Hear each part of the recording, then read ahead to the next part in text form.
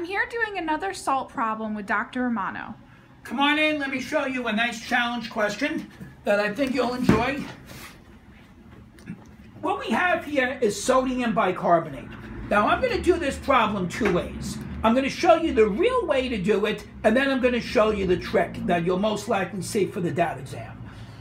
What I do is I'm going to give you K values for the acid that this salt was made from. And I gave you Ka1 of 4.2 to the minus 7 and Ka2 of 4.8 to the minus 11. There's two Kas because this is diprotic acid, carbonic acid.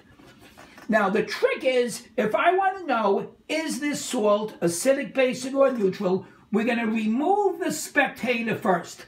Now when we remove the spectator, from sodium bicarbonate, we get the bicarbonate anion, HCO3 minus. Now the trick is, we want to see, does HCO3 minus want to react as an acid, or does it want to react as a base? Because it's amphiprotic, meaning it can go either way. It can act as an acid or a base. Let's first see what happens if it's acting as an acid. If it's acting as an acid, you put it in water, it transfers an H, and that will give H3O plus plus CO3 minus. Now, I hope you realize that that step is simply the Ka2, meaning that was the second ionization step of this acid. Now let's check to see what would happen if it acted as a base. Instead of giving an H, it'll receive an H. So if it takes off an H from water, you get OH minus and H2CO3. Now, what was, would that step be?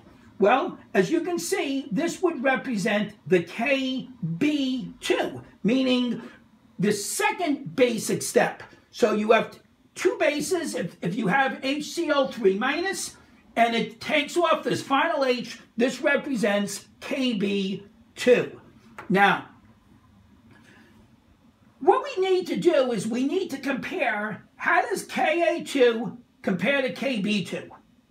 Well, the reverse of this reaction, I hope you can see, would represent the loss of the first proton. So that would represent Ka1. All right.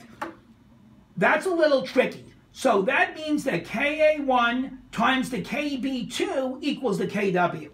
Plugging in for Ka1 of 4.2 to the minus 7 times the KB2 is 1 to the minus 14th. That gives me my KB2.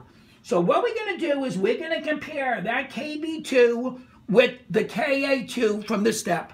And since the Kb exceeds the Ka, that means the salt would be basic.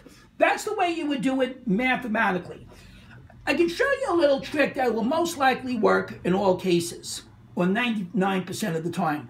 All you would do is to take this and put it in water and crisscross and meet the two parents. You would get NaOH, and here you would get H2CO3. This represents a strong base. This represents a weak acid. The stronger component dictates the pH, so therefore it would be basic. So you can get the answer really fast, but if you really want some good insight on how to do this problem involving the KAs, this is how you would go. All right, I hope this helps on a hard problem. I have one like this in the DAT Destroyer that I want you to look at. Okay, good day to you. Bye-bye.